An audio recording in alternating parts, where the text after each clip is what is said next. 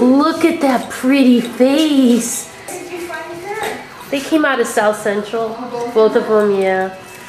And he shaved or you did that? Um, he's he had ticks all over him.